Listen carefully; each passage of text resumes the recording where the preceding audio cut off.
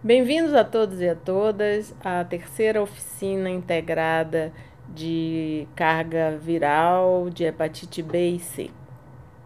Eu sou Adele Schwartz Benzaquem, a nova diretora do Departamento de DST AIDS e Hepatites Virais. Não tão nova, porque eu já era adjunta uh, do Fábio Mesquita nos últimos dois anos e meio.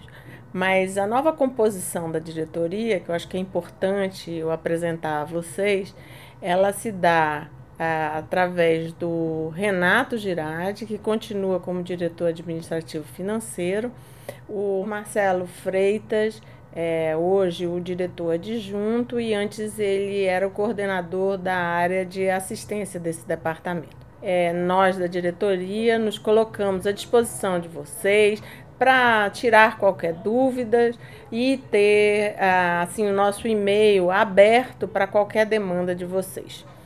É, essa oficina ela foi pensada no sentido de ampliar a qualidade é, dos exames, principalmente de biologia molecular, que é realizado nos 55 laboratórios dessa rede. É, vocês hão de convir que o trabalho de vocês é muito importante para a população que tem hepatite B e C. E ela dá subsídio para que nós possamos é, definitivamente colocar os protocolos em andamento. Esses protocolos que são elaborados normalmente por experts, eles precisam sempre um respaldo laboratorial. Então, portanto, vocês são fundamentais no enfrentamento é, das hepatites virais. É, eu desejo a vocês que vocês tenham uma excelente reunião e que realmente vocês possam estar se qualificando cada vez mais.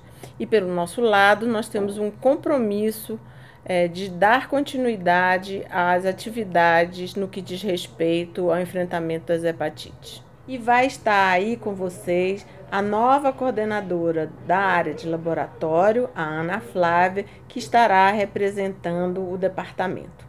Boa reunião e obrigada.